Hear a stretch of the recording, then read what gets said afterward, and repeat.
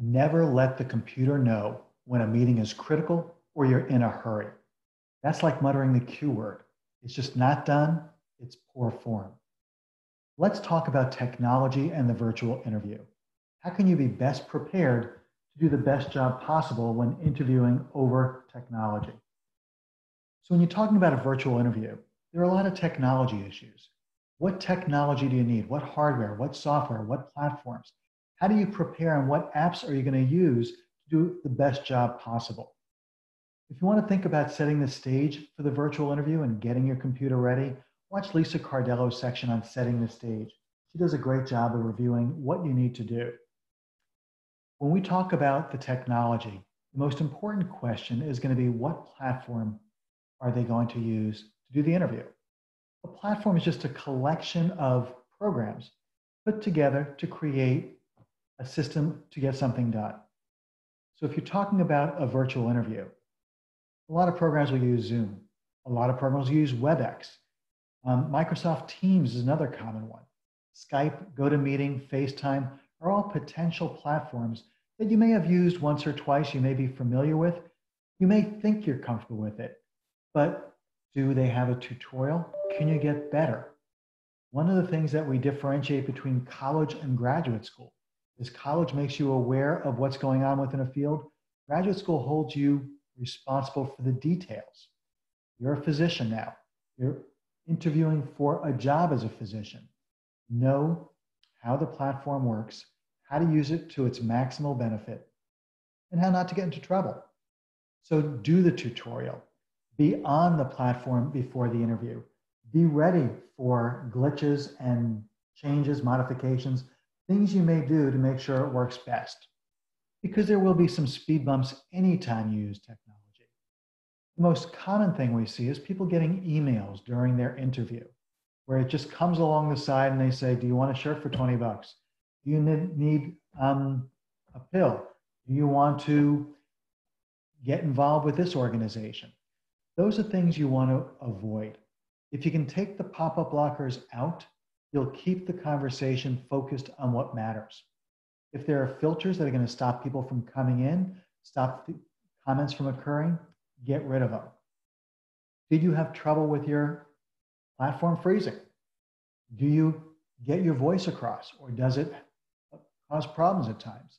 Be aware of this. If you're dropping signals or your meeting isn't smooth, Figure that out beforehand. Maybe warn the person you're interviewing with if you can't fix it. And if you can fix it, fix it. Some of the other common things are people often jump on their interview with five or 10 minutes um, leeway, and they don't close out all their apps. They don't clean up their desktop. They don't get things ready for the interview. They just do the interview. If you have any open tabs that you want to share, make sure they're open. Practice with your sharing a screen. If there are things you need to do to make it smoother, do it beforehand. You don't want to have people watch you go through that system. The basic technology for a virtual interview can be a computer, an iPad, or an iPhone. And there are things that Lisa talks about, such as having the camera at eye level. If it's at eye level, it looks better, it looks more professional, and it looks like you're talking to a peer. If it's coming from the bottom, that's an issue. So watch Lisa Cardello's video to get an idea an advanced technology platform, an advanced technology um, requirements would be a web camera that's at eye level, a microphone that makes your voice sound better and clearer.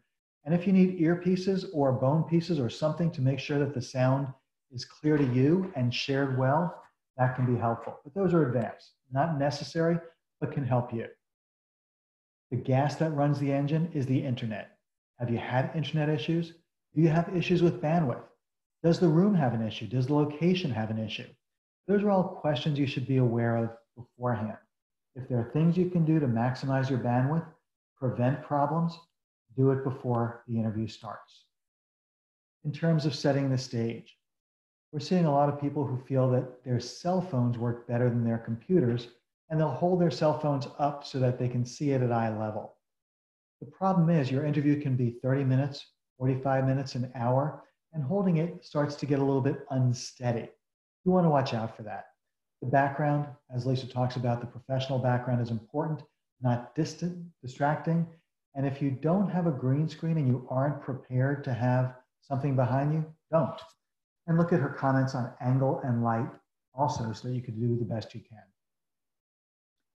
So one of the big questions we get is what programs or apps should we use to make sure we're ready for our virtual interview and for the virtual interview season?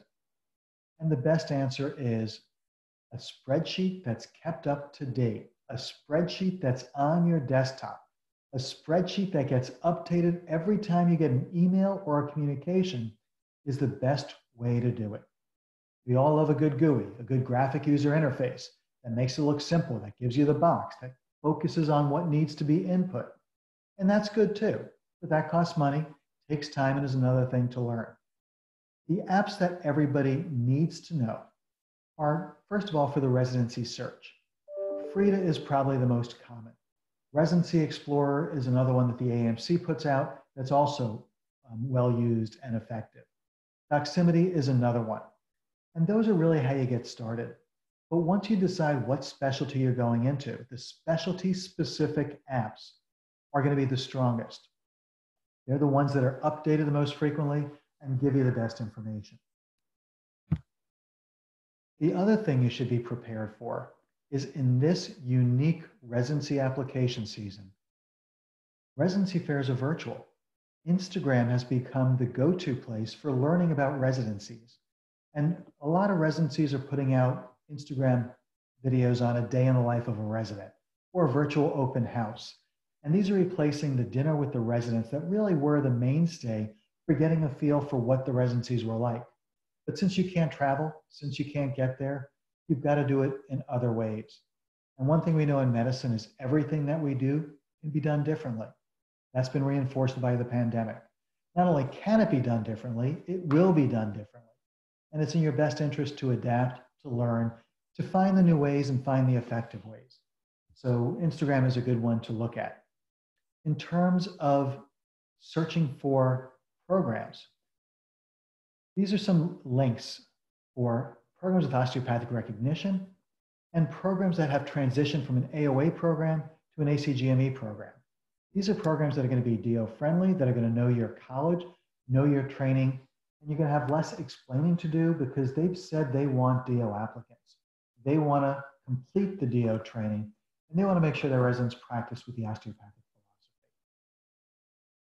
Once you've gotten your applications in and you start getting your interviews, a lot of people will use interview schedulers.